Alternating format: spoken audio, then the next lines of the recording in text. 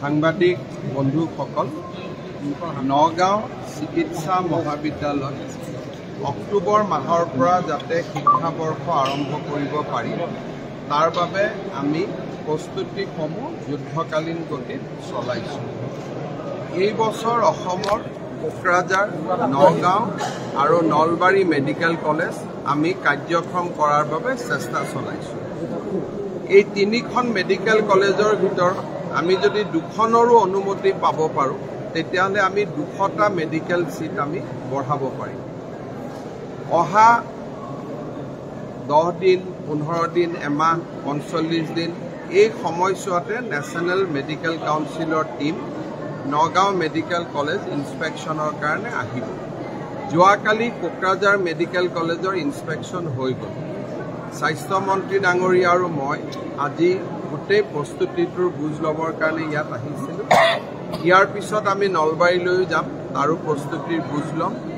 আৰু আমাৰ মনত একান্ত ইচ্ছা যে তিনিখন মেডিকেল কলেজ এইবাৰ আমি এন এম চিৰ সন্মুখত উপস্থিত কৰাইছোঁ। দুখনো যদি আমি কৰিব পাৰোঁ আমাৰ দুশটাকৈ ছিট অসমত বাঢ়ি যাব। লগতে আমি মেডিকেল কলেজ কেইখনো পাবলৈ সক্ষম হ'ম। মই নগাঁৱত আমাৰ ফেকাল্টিসকলৰ লগতো কথা পাতিলোঁ। গোটেই পৰিস্থিতিটো চালোঁ। য'ত য'ত অলপ অলপ ইম্প্ৰুভমেণ্ট লাগে সেইখিনি মই পৰামৰ্শ দিছোঁ। স্বাস্থ্য বিভাগ আৰু জিলা প্ৰশাসনে এই ক্ষেত্ৰত কাম কৰিব এই নগাঁও যিখন ভোগেশ্বৰী ফুকনি অসামৰিক চিকিৎসালয় আছে সেইখনৰ ভৱিষ্যত কি হ'ব এতিয়া ভোগেশ্বৰ ফুকননি চিকিৎসালয়খন নগাঁৱৰ চেণ্টাৰ পজিশ্যনত আছে। আমি আলোচনা কৰিম।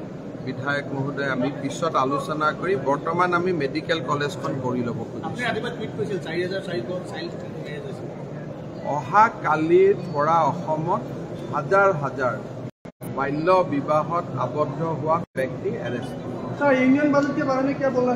চাৰ বাজে মেৰা প্ৰেছ কনফাৰেঞ্চ অহাকালি ৰাতিপুৱাৰ পৰা নেক্সট ছয় সাত দিন হাজাৰ হাজাৰ মানুহ হাজাৰ হাজাৰ যুৱক এৰেষ্ট হ'ব বা যুৱক হওক মানুহ হওক যোনে বাল্য বিবাহ কৰিছিলে।